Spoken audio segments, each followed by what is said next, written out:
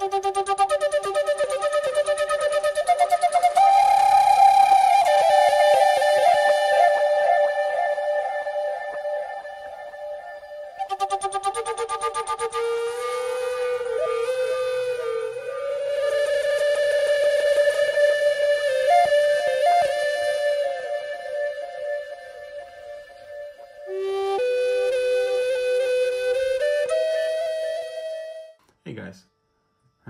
Today to tell you that after getting enough feedback from different people all around the globe, I changed my mind on their venom and how dangerous they potentially could be. They're not exactly harmless as I believed, while on one side I have plenty of cases of bites uh, that ha had very mild symptoms, me included.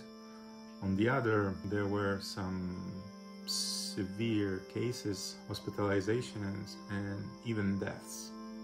I'm gonna briefly cite this research paper that I, I've already examined in my second video that basically says that out of 300 people uh, that got bit in Malaysia by uh, Tropidolaemus, all of them just received uh, paracetamol as treatment at the hospital and they only experienced mild pain uh, for for a day or so. I have several friends that have been bitten by uh, wagleri and Tropidolaemus subannulatus, like Akasha here. And um, just like me, they've only experienced um, some degree of pain um, for one to uh, three days uh, at best, and nothing else. Now, on to some bad cases. I've heard of two people that died after getting bit by Tropidolaemus. One was um, in uh, either Indonesia or Malaysia by Tropidolaemus wagleri, and one was in Russia by uh, Tropidolaemus uh, subannulatus, uh, Borneo locality. One in Russia received a bite on his uh, cheek on his face. About several cases in Sweden required uh, hospitalization, and that's as far as I know. Another case uh, in Russia uh, was a bite from Tropidolaemus wagleri, Sumatran locality. This person got bit on his hand.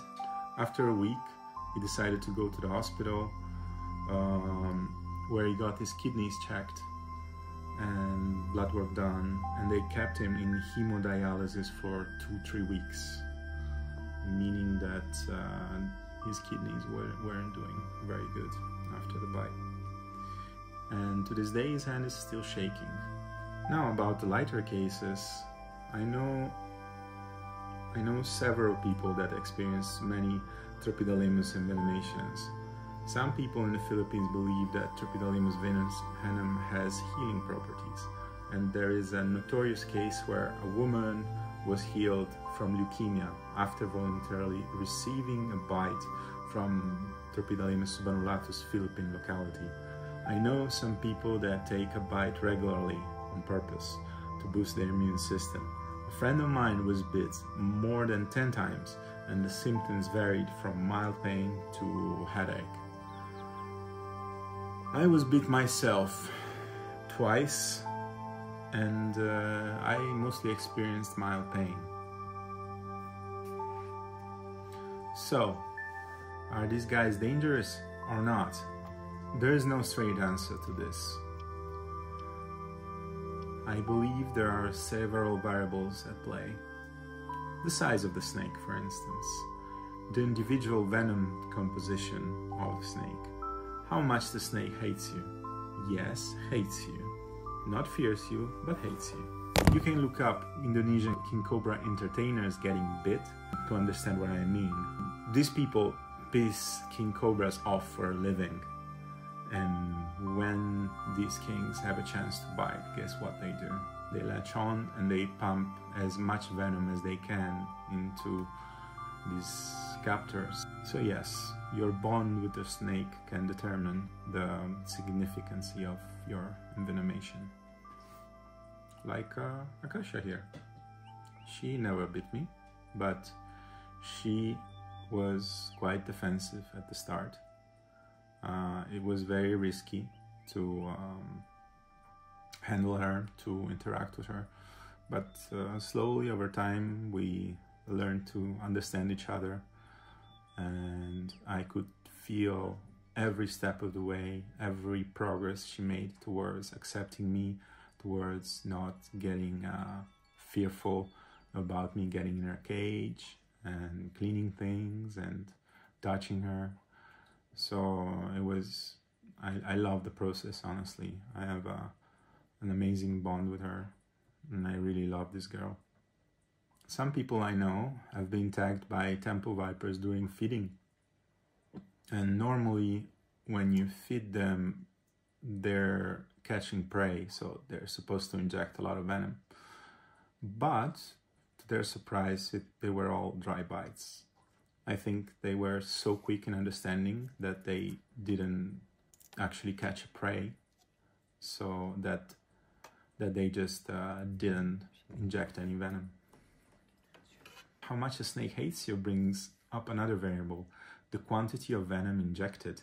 Tropidolaemus tend to release very little venom, even when milked, so most bites should have very low venom yield.